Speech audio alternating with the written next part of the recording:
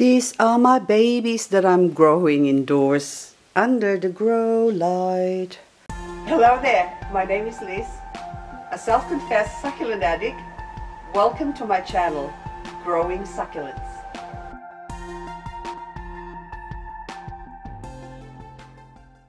My Mars Hydro SP3000, which I love so much. So thank you, thank you. This is not an ad for Mars Hydro. This is about baby succulents, growing baby succulents. So this one has been plucked at the end of autumn, if my memory serves me right. So this uh, tray here has now grown to lots of pups. Some of them I've added only uh, about three weeks ago. So like the Sedeveria pudgy over here. That's just the roots just sticking out of the air. So I actually just lay them here. So I pluck it from a newly bought third Sedeveria pudgy or vanilla vis. That's what it's formally called. These ones now are, how old are you? Oh, you're almost four months old. So almost four months old, but this one has been plucked earlier, the Chihuahuaensis cat's claw. I think in other places they call it cat's claw or other countries. And this one has been really, really good, this tray here. I haven't had many issues with it. Uh, no mealybugs or pests. And as you would know, when you're growing succulents indoors, you are going to encounter a lot of pests. For one, you get lots of gnats, mealybugs and uh, some tiny little white crawling thing and that is due to lack of air circulation. So if you're going to grow succulents indoor, make sure it's well ventilated and lots of air circulating. So we got a fan, I'll turn the fan on. But anyway, with these ones now, the drill with the babies, okay, so I'll just show you first. So how to grow babies indoors, I think this is what the, um, or put it this way, maybe outdoors as well. So you can do this outdoors, but put it in a bright, uh, cool, dry place and also preferably something that can absorb the moisture. So this is a cardboard container. I just plucked this uh, variegated Black Prince monstrose. I was repotting my plants. Some of them were two weeks old and there's a couple of new ones that's only a few days old in here. But I just throw them all in. This is actually Black Prince Monstrose it says the label. But there's um, Doris Taylor. I got Doris Taylor. I've got Chihuahuaensis so this is a mix of different variety of Echeveria and cardboard box. First of all okay we'll leave it there. And see these ones are more advanced. When did I pluck you? Oh my goodness.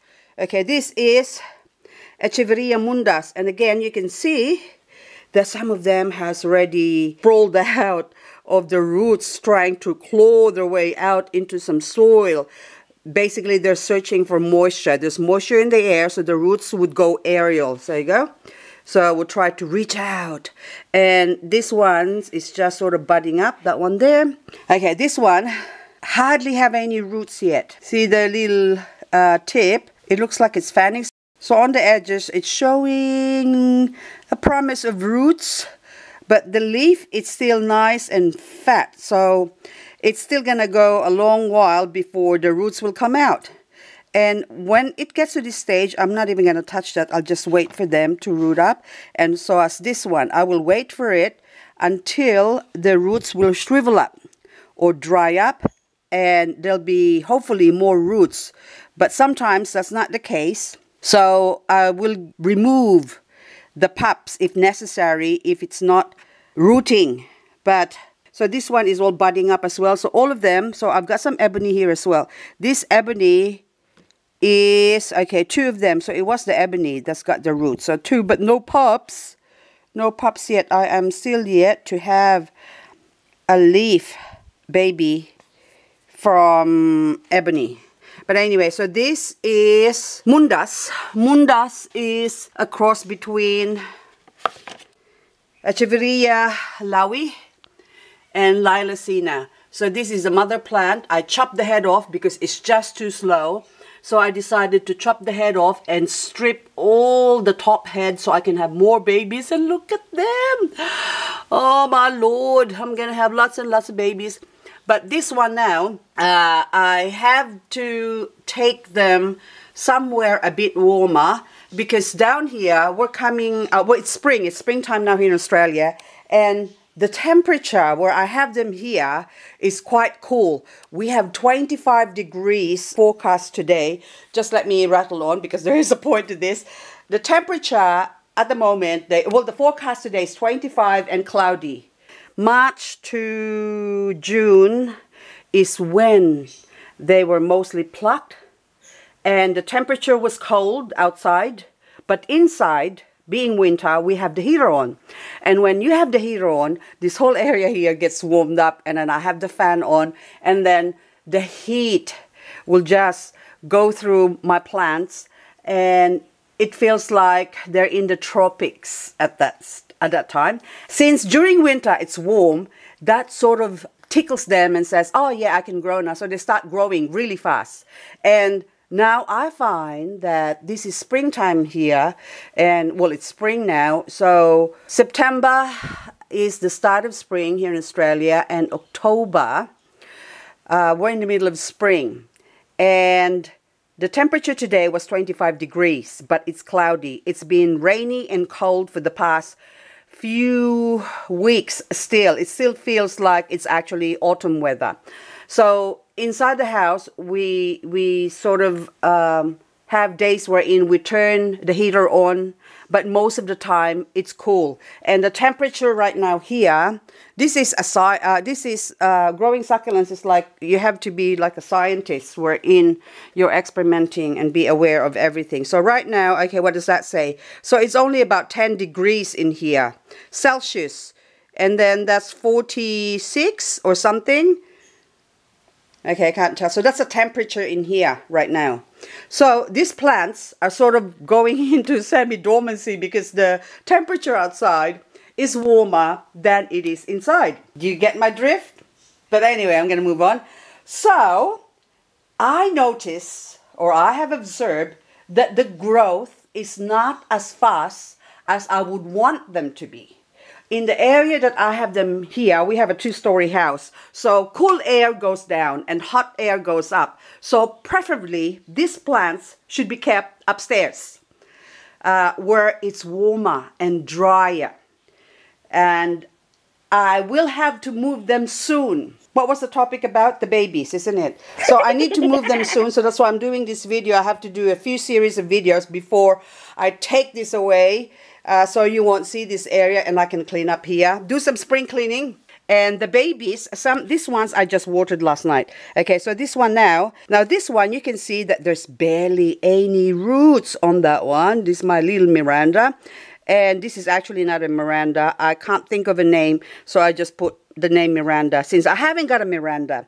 So, but I suspect this could be uh, prolifera or something like that, or prolific uh, agavoides. But anyway, this one now is uh, growing. So look how big it is. It's the biggest of all of them. So they're all sort of uh, faux Miranda or fake Miranda. So, but, and even that one, look, it's the roots are sort of aerial. Okay, I'll just pull it out. It's going down in the bottom now. So look, all the roots coming out. Look at that. And so I have to bury it down. So as to encourage the roots to go deep into the soil instead of coming out. But in saying that, I have to keep the soil moist or else they would just go root up on top and not go down. So if the soil is dry, the succulents, if, even if you bury it into the soil, they will try to crawl out. So you will find that your succulents is sort of just growing on shallow roots, it may seem. It's because your soil is dry. But if you keep your soil moist in the bottom, the tendency for the succulent is to reach out for the moisture down. It's in their nature to do that, to reach down to where the moisture is. And of course, speaking of moisture, they don't want too much moisture as well. So this is a good example of this baby having too much moisture when it's not ready to take in the moisture yet because they absorb the moisture through the roots or the water from the roots. And if they haven't got roots, they will absorb it through the leaves. Therefore, you are going to have some root uh, rotting problem. So this one now, what I do with this, to encourage this to grow roots really quick, and this would be, okay, this would just be a matter of a couple of days that you will see a lot of growth okay? Or okay I'm just gonna push this out now so I hope I get the light. Okay so I'm just gonna slowly boop that was easy. Okay so it's really easy. Now this one we have to discard so now this one now so you can see that there's hardly any roots on that baby there so now this one I can put in my moist soil okay but just barely sort of on top. Don't bury it too much because if the leaves have contact with the wet soil, so it's not even like moist, it has to be moist, but then if it's wet, like this potting mix here, this is just my master soil mix, my master succulent soil mix that I used in here. So I just have to put it on the surface like that. But if I take this plant with sort of barely have no roots and put it in coco peat like this one here. So these two plants were watered last night. So I watered them last night. So this is like 12 hours later. And so the surface of the soil is now dry and it's still heavy. So it means that the soil or the rest of the pot here, so it's only shallow as well, but it's all coco peat. This one is just all coco peat. And so they don't have any contact. See the back of the leaf? This is, what are you? This is a very sensitive plant. So this plant is an unknown plant. So I just called it rosy because it looks rosy. So this one, it's like a lowie, but it's not a lowie. And anyway, this one now is one plant that rotted because I bought it from someone who keeps her succulent dry, like really wilting dry. She doesn't water it at all, hardly, hardly watered. And poor babies, they they grow to a certain stage, and once they get bigger, she tries to uh, pan it off to someone else and sell it before it dies. And then I already had three plants, or four actually, from her that died. Um, but not before I could take some leaves. So the minute I see signs of the plant dying, I pluck the leaves out. That way, I still have a chance of growing some babies. Okay, is my voice getting loud again? I'm getting excited. Okay, so that way I have a chance of getting babies, at least getting babies from it. So this is also, these plants here, pretty in pink, so this Pretty in Pink had just melted on me. I got a cluster from her. And this one's just started dropping the um, leaves off. And I kept it in the same soil that she kept because I thought it's a grown plant and so I should leave it in the soil that it's in. And wrong mistake. of course, the plant died. So really, now I make it a habit of replacing the soil regardless of where I get my succulents from. So this one's from a cluster of, say, of plants and so I lost the whole plant. The whole plant is now gone. It's dead and it's dried up somewhere. But not before I could manage to pluck some leaves that haven't rotted because they're all root rotted and slowly one by one they started falling off. And this one's now is, look how many babies I've got. One, two, three. And they haven't rooted yet. So that one is sort of still a tiny little bit of root I can see. But most of them are not rooting or haven't rooted yet. So I think there's a couple that has roots, but I don't want to dig it out because they are fussy. Oh, that one's got another bit of root as well showing. But anyway, so I just put them on top. So I try, I still keep the soil uh, mixed up. I still mix it up, but I don't bury the plant. I just, oh, is that the one with, oh yeah, that's the one with the root. Look, look, look, look, look, see? See, look at that. So that's the one with the roots. And look how healthy the root is. So I find that even if you have a plant that's weak, And if you grow them hard and they survive, they become really strong, healthy plant. So this is what I'm doing with these babies here. You might be fragile and delicate, delicate, but after I'm finished with you, you'll be nice and strong. And my budgie just flew in. Oh my goodness, Pedro, come here. Come. Okay, you sit on mommy's shoulder. He wanted to land on uh, these plants. And that's the reason why I want to take these plants out as well because the budgie has been um, roosting up the top of my Mars Hydro here and see the little poop there. So now I have to clean that up because this is a naughty boy. So I have to remove this grow light now and move it upstairs. So, and okay, he just flew away again. So that is one of the trick. And also this one's now, I'm going to show you this ones. So this one has been uh, well watered. So 12 hours. And look how dry it is already. The edges, I can see some dryness. Look, okay, go over here. So that's already sort of dry. So this is what I like about coco peat. Uh, I have less casualties with coco peat. And look at that mini bell growing. Look at that. So I just, the mini bell actually, so you can see some that sort of fallen off. Uh, if I hit uh, my plants here, those ones, they need to be plucked out. Where's the mini bell? I don't know if I'm, yep, see that mini bell in the center there. They need to be pulled out, the propagated cuttings. And so every, every time I water, I hit it and the leaf will just fall off. And so I have to put them here.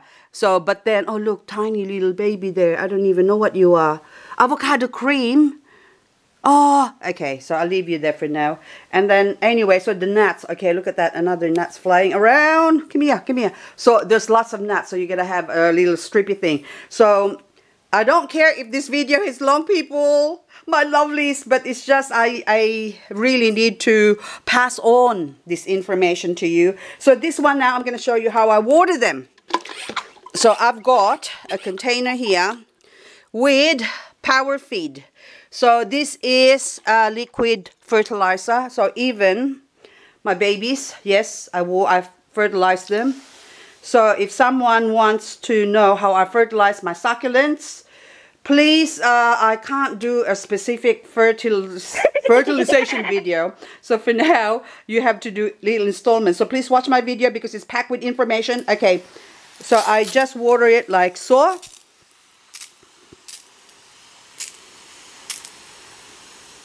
And I saturate them.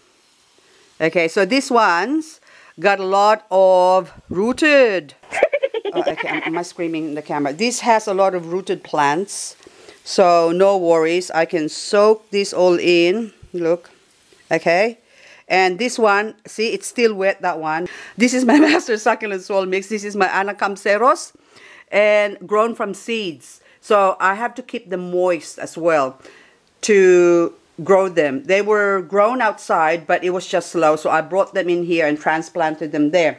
And hang on, look at my West Rainbow. Isn't that beautiful? But the piece the stones is this one. Oh, look at that um, yellowy pink at the front there. That is just so gorgeous. I hope I'm capturing that. That is so beautiful. And I think I'm going to leave that plant there because that's just going to die if I pluck that out. So I have to leave it with the mommy and see or the stem, original stem, see how long it lasts. Anyway, I'm just gonna continue here. So now,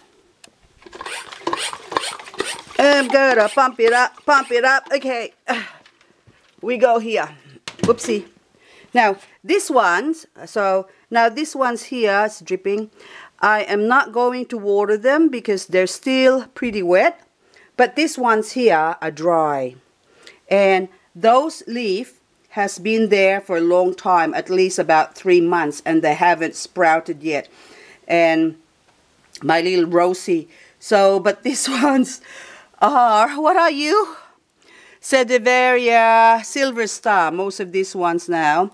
And so I'm going to water, but even this one, you can water it if they're dry or palustova, but do not bury its head in the sand or in the soil and ooh, look at Mon. What are you? Mendoza or Mini Bell? One of the two. Variegated Mini Bell. Look how big you are now. Beautiful. Okay. And so, This is my Pachyphytum bracteosum, little fatty purple uh, plants. I love, love, love, love, love, love them. And there you go. So this is every day. People are going to have, um, some of you are going to have a heart attack again because you see me watering my plants like this.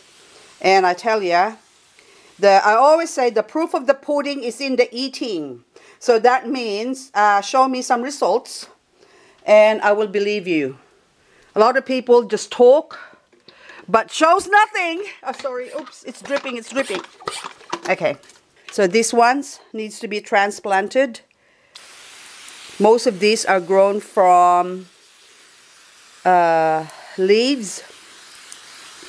And my Callisia rosato, again, this is to give away. I don't know, I should really propagate this because I got my mother plant and this one. And that's it. And, oh, the frizzle sizzle. The frizzle sizzle loves, loves, loves the cold and the sun. But we haven't had any sun lately, hardly. So I brought it inside to grow. And I shouldn't be watering that. But anyway, I did. So I'm just looking because I just watered last night. And I'm just seeing what needs to be watered. There you go. So another Sedeveria pudgy. Vanilla Vis. Oh, look at this little fat. So, so hang on. I should do a different video for this for now. For now, you've got uh, watering and growing succulent babies inside. So this one is dripping. Look, I'm trying to stop. Okay. I need um, container to put them in. There you go.